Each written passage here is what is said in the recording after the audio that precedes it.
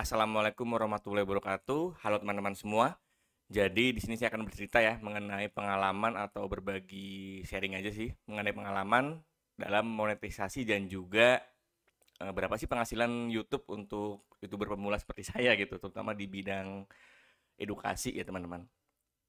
Jadi saya itu mulai me-YouTube itu atau melakukan upload di YouTube itu sekitar sebenarnya udah lama nih di tahun 2015 ya waktu ya waktu S1 sih waktu itu dan baru lulus. Tapi setelah itu lumayan lama eh, upload laginya atau rutinnya gitu. Jadi mungkin sekitar sebulan sekali atau setahun sekali malah ya untuk upload lagi.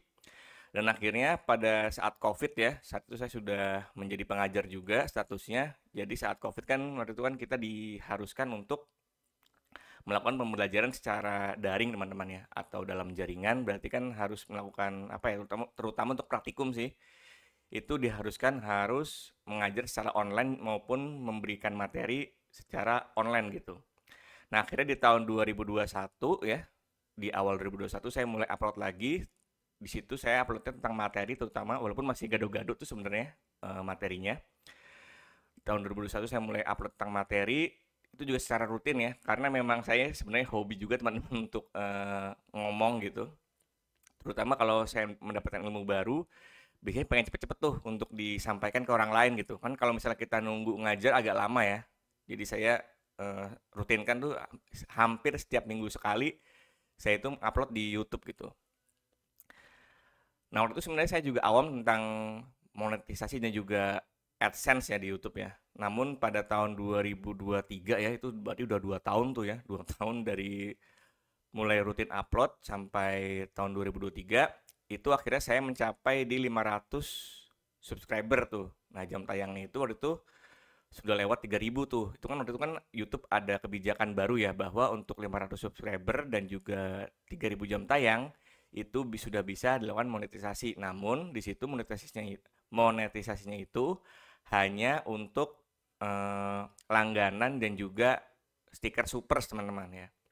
Jadi walaupun sudah monet waktu itu sebenarnya belum ada penghasilan juga gitu di YouTube gitu. Nah akhirnya pada tahun 2024 awal ya tepatnya di bulan Januari akhirnya saya mencapai di 1000 subscriber tuh dan 4000 jam tayang. Nah waktu itu sebenarnya di bulan Desember ataupun November kalau nggak salah ya itu untuk jam tayangnya terutama uh, udah nyampe tuh teman-teman tuh dengan 4000 cuman untuk subscribernya itu baru di angka 800 kalau nggak salah jadi sebenarnya saya sering kebalik nih kalau orang-orang bilang jam tayang itu sudah dikejar, saya malah jam tayang duluan yang nyampe dibanding subscribernya gitu. Nah akhirnya saya bertanya pada teman juga waktu itu ada teman yang juga jadi youtuber juga atau ibaratnya sering upload di YouTube menyarankan bahwa untuk mengejar subscriber itu dia melakukan video shorts ya kalau di YouTube ya dan akhirnya saya rutinkan tuh seminggu atau setiap tiga hari sekali saya YouTube shorts walaupun sebenarnya kalau dari penghasilan kalau udah sekarang ya udah udah ketahuan di monetnya itu antara YouTube yang video biasa yang panjang ya yang bentuk landscape dengan yang short itu lumayan jauh perbedaannya ya sangat jauh malah ya untuk penghasilannya. Tapi untuk mengejar subscriber nih sekedar saran juga untuk teman-teman yang baru mulai untuk mengejar subscriber itu bisa dilakukan atau dirundingkan aja untuk video shortsnya gitu. Karena YouTube ini untuk shorts ini dia sangat uh, family bukan family maksudnya uh, untuk user friendly-nya itu untuk apa namanya penontonnya itu sangat ini sangat cepat gitu. Akhirnya di uh, sekitar sebulan kalau salah itu penambahannya lumayan banyak teman-teman. Sekitar hampir 200 subscriber ya dari 800 di bulan Oktober terus di bulan Desember itu sudah sampai 1000 tuh. Nah akhirnya di bulan Januari sudah nyampe tuh 1000 subscriber 4000 jam tayang. Akhirnya saya bisa uh, dimonetisasi untuk yang AdSense-nya terutama untuk iklan halaman dan juga iklan shorts ya. Jadi ada dua tuh. Walaupun untuk yang iklan halaman itu lebih banyak ya penghasilannya ya.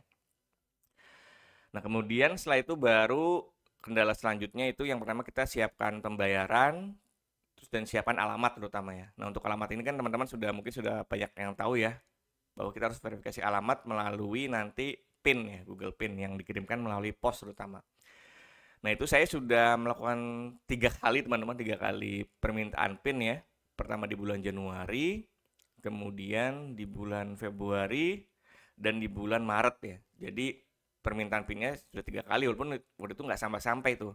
Pertama saya itu ngirim ke alamat orang tua, pertama itu beda beda alamat kemudian yang kedua dan ketiga itu ke alamat rumah saya sendiri tuh gitu nah karena dia tidak sampai-sampai akhirnya saya menghubungi tuh si posnya. Saya tinggal di Depok jadi saya hubungi kantor pos uh, pusat Depok ya di Jalan Santosa itu melalui IG teman-teman. Dan alhamdulillah untuk responnya dari si kantor pos itu cuma yang cepat tuh.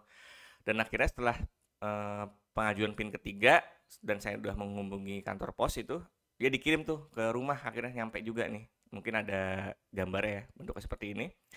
Dan dan akhirnya saya bisa memasukkan pin di situ.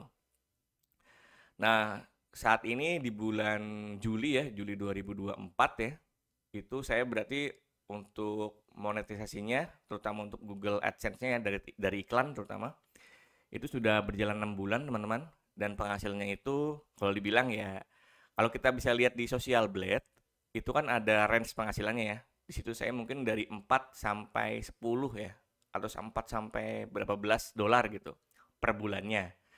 Nah, kalau dari aslinya itu kalau kita bisa lihat di Google Analytics ya atau YouTube Analytics itu kita bisa lihat bahwa penghasilan saya tuh di tengah-tengahnya tuh antara 4 sampai belasan itu sekitar mungkin 10 sampai 11 dolar lah ya. Berarti sekitar 150 sampai 200 ribu lah teman-teman. Jadi kalau misalnya mau di cairkan kan kalau dicairkan itu minimal kan 100 dolar teman-teman ya mungkin setahun sekali baru bisa cair ya tapi karena memang saya hobi untuk upload YouTube karena emang pengen sharing gitu tentang materi-materi kuliah terutama ya atau materi-materi edukasi tentang pendidikan. Jadi ya udah saya berjalan aja gitu ya. Dianggap sebagai hobi aja. Oke mungkin gitu ya teman-teman untuk sharing pengalaman kali ini. Semoga materi bermanfaat ya. Wabillahi taufiq Wassalamualaikum warahmatullahi wabarakatuh. Terima kasih semuanya.